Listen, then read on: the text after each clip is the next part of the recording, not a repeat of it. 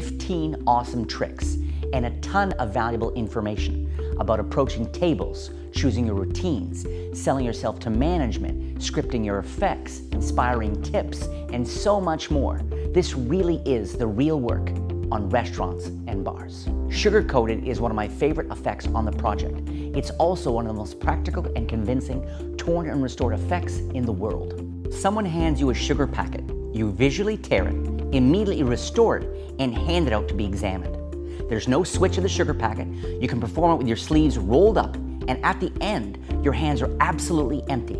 There's also nothing to palm or get rid of, and it instantly resets. I also love transposition effects, and with sweetbread, a borrowed bill, and a sugar packet, change places under impossible conditions. And the whole thing happens while the spectator holds the bill in her own hands.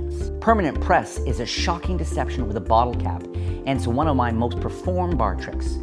It's also one of my favorite opening effects because it does a fantastic job of blurring the line between an extremely impressive stunt and an impossible magic trick. I also share the exciting secrets behind the gallow pitch.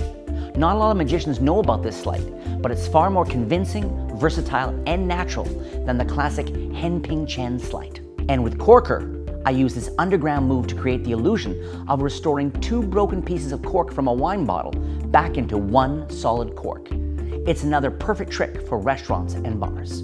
Many magicians have seen my deck in balloon trick, Airtight, performed on television by many of the world's most famous magicians. But to be honest, with my original handling, there's always a real chance the balloon will break. Not so magical. But on this DVD, I teach you a handling I call airtighter, because with this version, the balloon never breaks. So no surprise, it's the only version I've performed for years. I'm also a big fan of impossible location effects. But with Amphibian, instead of the marked and borrowed coin appearing inside your card case or inside your wallet or inside your envelope, the coin appears inside a second borrowed item, a creamer, still filled with cream. It's completely unprepared and can even be examined before and after the shocking appearance.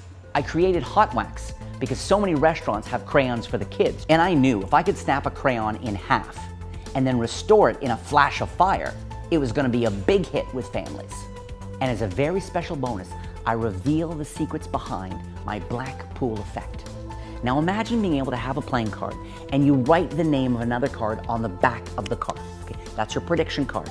Then you have someone name any card they want, free choice, 100% free choice, no forces.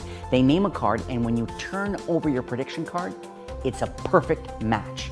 That's the card they had in mind and this is without nail writers, no card indexes, and no difficult sleight of hand. Then, as a crazy kicker ending, the prediction card somehow changes into the card they had in mind. The whole card changes into the card they had in mind. It's a truly insane combination of magic and mentalism.